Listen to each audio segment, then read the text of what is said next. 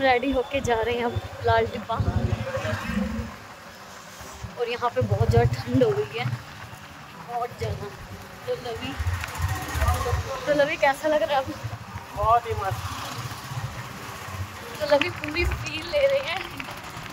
की नहीं गोवा वाली।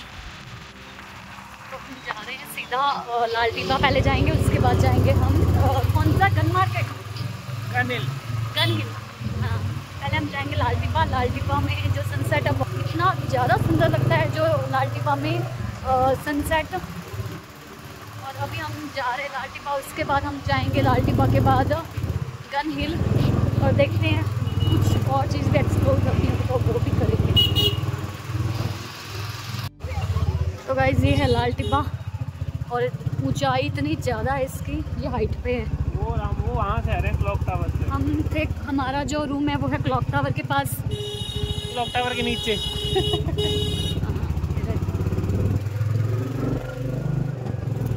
और बहुत ज़्यादा ऊपर हाई इधर बहुत। ये देखो। मसूरी में भी सबसे हाईएस्ट पीक लाल टिब्बा है। बहुत नहीं इससे भी हाईएस्ट है। शायद से जॉर्ज एवरेस्ट पता नहीं कुछ है बट है है बट यहाँ पे के लिए लोग लाल टिब्बा आते हैं, पर ठंडा बहुत है।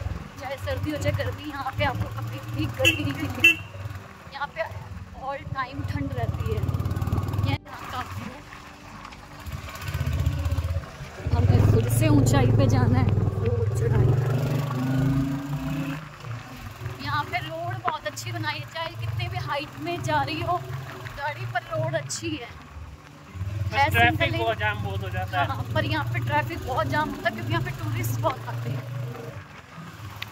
यहाँ पे इतनी ठंड हो रही है ना बहुत ज़्यादा ठंड और यहाँ तो गर्मी बनती है। असल में गर्मी की ज़रूरत यहाँ पे है। यहाँ पे थोड़ी बहुत तो गर्मी बनती है यहाँ पे तो बहुत हम पहुँच चुके हैं लाल टिब्बा और वो है लाल टिब्बा कैफ़े। और यहाँ से सनसेट व्यू इतना ज़्यादा प्यारा लगता है। अभी हम जाएँगे अब उधर। अभी हम यहाँ पे फ़ोटोशूट और वीडियो के लिए आए। अभी मैं आपको यहाँ का लोकेशन दिखा देती हूँ कैसा है। ये है लाल टिब्बा के पास का व्यू और यहाँ पे जंगल है और बहुत घना जंगल है। और आगे तो और भी घना जंगल है और ये है यहाँ की ग्रीनरी गर्मियों में भी पूरा ग्रीन ग्रीन रहता है और ये पेड़ इतने ज़्यादा सुंदर लगते हैं ना, ये वाले पेड़। काश हम 10 मिनट और वेट कर लेते। बारिश रुक जाती और हमें होटल ना लेना पड़ता। इधर जाओ नहीं।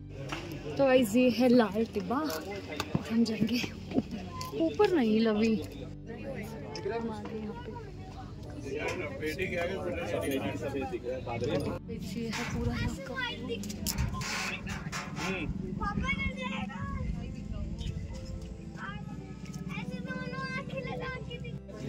तो ये है लाल टिब्बा और ये लाल टिब्बा का रेस्टोरेंट क्योंकि लाल टिब्बा वाली जगह पर रेस्टोरेंट चलता है। और ये है बाहर का व्यू इतना अच्छा मौसम हो रखा है।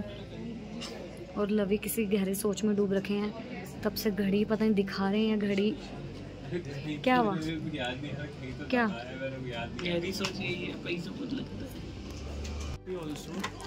तो ये आ गया हमारा सैंडविच और कॉफ़ी नहीं आई। तो ये लवी ठूसते हैं भूख लग रही है, बहुत भयंकर। और सैंडविच बड़ा डिलीशियस लग रहा है। तो खा के बताऊँगी कि कैसा है। है ना? लो मैं कट करती हूँ। लवी का एक्सपीरियंस सैंडविच तीखा ही नहीं है। और ये है ये है चिली ये है मिर्च वाली चटनी, ये स्पाइसी चटनी और मीठी चटनी। तो अब हम खाएँगे। तो ये आ गई हॉट कॉफ़ी हमारी, और नैपकिन और लवी तक, लवी से अभी तक सैंडविच भी नहीं कटा। और भूख लग रही भयंकर तो मैं तो सबसे पहले कॉफ़ी पी लेती हूँ। और लवी अपनी सैंडविच कटते रहे, का, अरे बनाना नहीं है। नए कस्टमर को करना है सर वो सर्व खुद खाना है। तो वो है ऊपर लाल टिब्बा और एक किला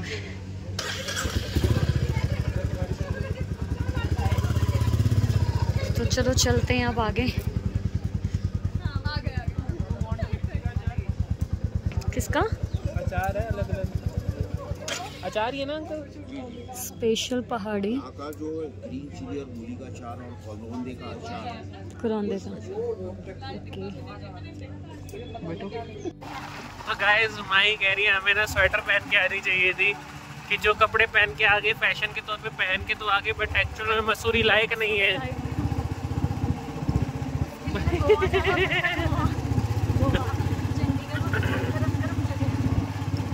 तो गाइस हमने पी थी कॉफ़ी बट कॉफ़ी ना चाय का काम किया नहीं तो सिर दर्द अभी बाकी है। खंडर खंडर खंडर जगह है जो अंग्रेज़ों तो गाइस यहाँ पे खंडर से हो रखे हुए हैं जो अंग्रेज़ों ने कुछ चीज़ें जो भी कुछ घर कुछ भी निर्माण किया होगा वो खंडर खंडर सा लग रहा है पर रात के टाइम सच में यहाँ डर लगता होगा हॉन्टेड हाउस लगता होगा ये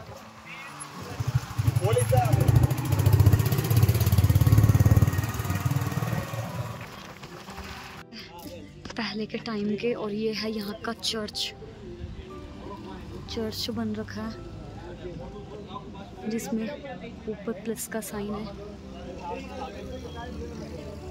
ज़्यादा प्यारा इस, अभी हम रुके हैं यहाँ पे चर्च है चर्च के बगल में यहाँ पे जंगल, घना सारा जंगल। ज़रा यहाँ पे हम रुके हैं और इतनी ठंड है यहाँ पे। जंगल के अंदर भी फोक दिख रहा है। जंगल है घने। और जो ये पेड़ है ना, मसूरी में सबसे सुंदर इसी कारण लगती है मसूरी, क्योंकि इन्हीं पेड़ों के कारण सुंदर लगती है। ये किस चीज़ के हैं? किसके हैं? बांझ के पेड़। चीड़ के पेड़ वगैरह बहुत सुंदर इन्हीं के कारण लगती है। इन्हीं के कारण ना मसूरी इतनी ज़्यादा सुंदर लगती है, इन पेड़ों के कारण जो कि तो वाइज ये है यहाँ का चर्च और यहाँ पे कोहरा स्टार्ट हो गया बारिश के बाद का। इतना ज़्यादा कोहरा हो रहा है इधर। और यहाँ पे पुलिस अपनी ड्यूटी कर रहे हैं और लवी मेरा चार्ज पता नहीं चार्ज क्या हो गया चार्जर को। क्या हो गया? तो यहाँ गाड़ी स्लिप होती जा रही है क्योंकि ये अब दलान पे जा रही है। हाइट से सीधा आप देख सकते हैं हमारी हमारी गाड़ी न्यूट्रल में चल रही है।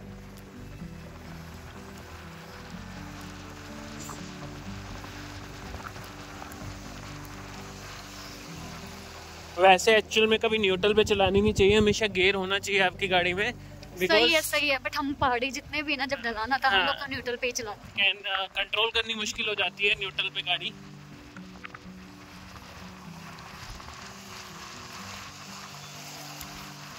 तो ये है यहाँ का।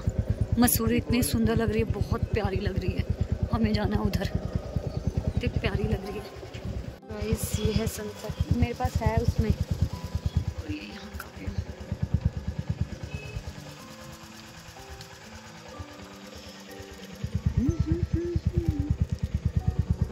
यहाँ पे लवी अपनी फ़ोन की बाइक बाइक से अपना फ़ोन चार्ज करे। फ़ोन स्विच ऑफ़ हो चुका है। तो सनसेट होने में बहुत टाइम पड़ा है। अभी तो।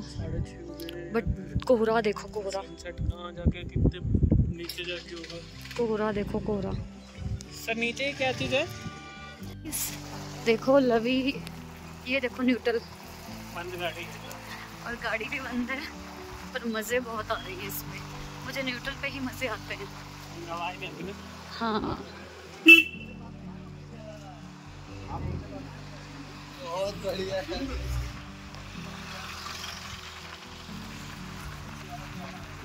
तो गाइज़ ये है मसूरी का क्लॉक टावर और अभी साढ़े छः बज चुके हैं। काफ़ी बड़ा एक क्लॉक टावर तो हम जा रहे हैं अपने रूम पे।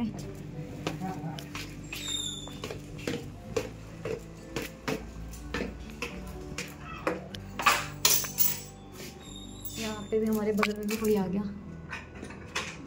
बट यहाँ पे भी कोई आ गया। आई थिंक उतर आ रखा है और हम जा रहे हैं अपने एक सौ छः नंबर रूम पे। और ये बड़ा साफ़ सुथरा छोटा सा बच्चा आया बगल में। और हमने रूम का हल कर दिया ऐसा। ये मैंने नहीं किया ये लवी नहीं किया क्योंकि मैं सेट करके जाती हूँ क्योंकि मेरे को अच्छा नहीं लगता कहीं पे भी जाते तो ख़राब। पर लवी ने बोल नहीं कपड़े गीले हैं अभी नहीं रखना। तो हमने कपड़े